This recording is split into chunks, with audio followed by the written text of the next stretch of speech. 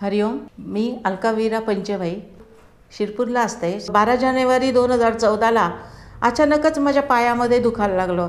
डाव्या पायात इतकं दुखायला लागलं की अक्षरशः रडायलाच लागली. मला उठता येईना बसता येईना दोन्ही बाजूला काही वळता येईना आणि मी रडायला लागली.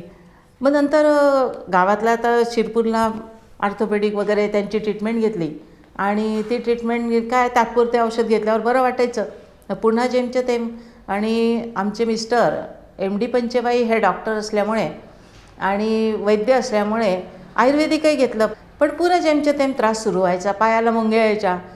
शंभर मीटर चालायला साधं मला पंधरा वीस मिनटं लागून जायचे चालायला त्रास व्हायचा. पाऊल टाकताच ज- यायचं नाही. आणि मग असं चार वर्ष मी सहन केलं दोन हजार चौदापासून माझी पुण्याला एक मुलगी आहे भाग्यश्री म्हणून साक्षी भाग्यश्री जोशी. तर ती सुट्टीत आली माझ्याकडे. ती म्हणाली तू इथे काही तुझं खरं नाही आहे चल तू पुण्याला आपण चांगल्या डॉक्टरला दाखवू. मग ती मला आम्ही सुट्टीमध्ये सात जूनला पुण्याला आलो. आणि पुण्याला मग आणि त्या दरम्यान काय झालं? या दुखण्यामुळे म्हणा का कशामुळे म्हणा मला तसं तर दोन हजार स सालापासून तर मला बी पीची गोळी होतीच. पण ह्या आठ दोन हजार अठरा साली मला चार चार गोळ्या बी पीच्या रागायला लागल्या. का इतक्या गोळ्या खाते बी पीच्या चल पुण्याला आपण चांगल्या डॉक्टरला दाखव. तर तिथे आमचे नेहमीचे सुनील साठे यांना दाखवलं. तर त्यांनी त्या त्याच गोळ्या कायम राहिल्या. मग त्याच गोळ्या जरी कायम राहिल्या तरी माझी मुलगी म्हणे नाही हे काही नाही म्हणे तू. आपण आता तुझ्या कंबर दुखतो आहे ना आपण एम आर आय करू मोठ्या हॉस्पिटलला जाऊ. मग परत तिथे नोबेल हॉस्पिटलला गेलो. तिथे चंद्रशेखर रामन यांना दाखवलं.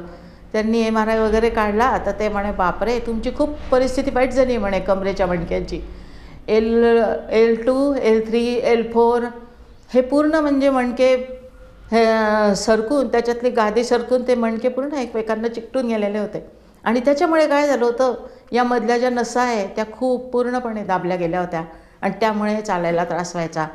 तर त्या डॉक्टरांनी पण ऑपरेशन सांगितलं. आणि मग त्या अवनीश गुप्तेंनी मला सांगितलं ऑपरेशन करावं लागेल नाही तर याच्यापुढे तुम्हाला पॅरेलिसिसचा याचा अटॅकचा धोका आहे बा असं. पण मणक्यांचं ऑपरेशन म्हटलं म्हणजे धास्ती होती मनात सगळ्यांना. मग आम्ही ठरवलं नाही हे काहीतरी हे आपण सुचितदादांचं सल्ला घेऊ. मग मी माझे मिस्टर त्या पुण्याची माझी मुलगी जावई आम्ही सगळे खारला गुरुक्षेत्रम येथे गेलो. आणि मग मोठ्या आईचं दर्शन घेतलं. खाली थोडी उपासना केली आणि वरती मग सुचितदादांच्या क्लिनिकला गेलो.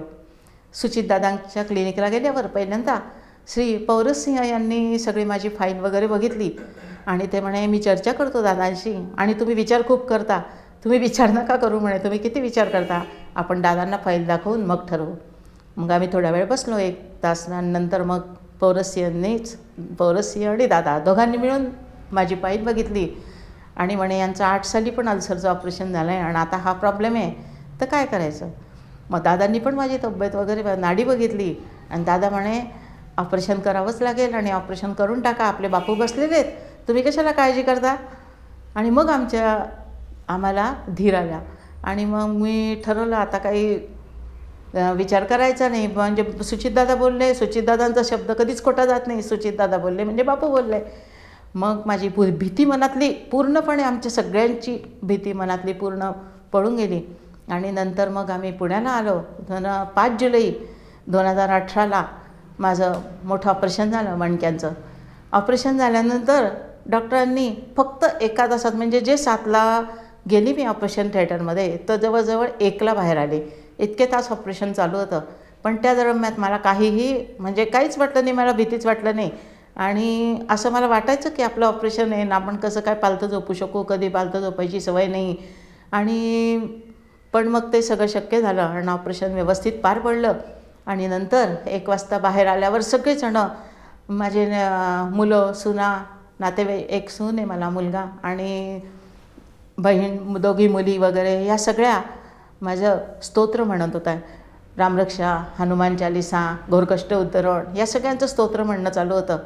म्हणजे हे जे बापूंनी आपल्याला जी स्तोत्र दिले आहे जे मंत्र दिले आहे ते आपल्याला वेळोवेळी संकटकाळी मानसिक आणि शारीरिक बळ द्यायला उपयोगी पडतात.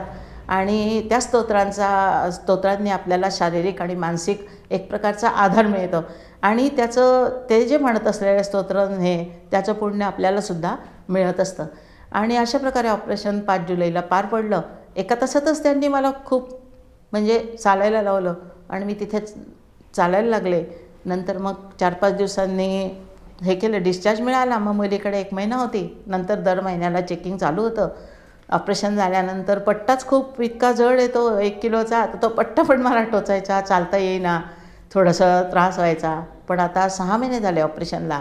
आता मी परत दाखवून आले सहा महिन्यानंतर पट्टा वगैरे पूर्ण सुटला. आणि आता फक्त प्रवास करताना त्यांनी पट्टा बांधायला सांगितलेला आहे.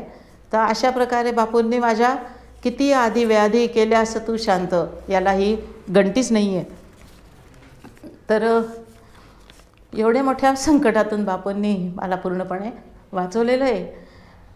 अनिरुद्धा तुझा मी किती ऋणी झालो? अनिरुद्धा तुझा मी किती ऋणी झालो? बापू मी अंबज्ञ आहे.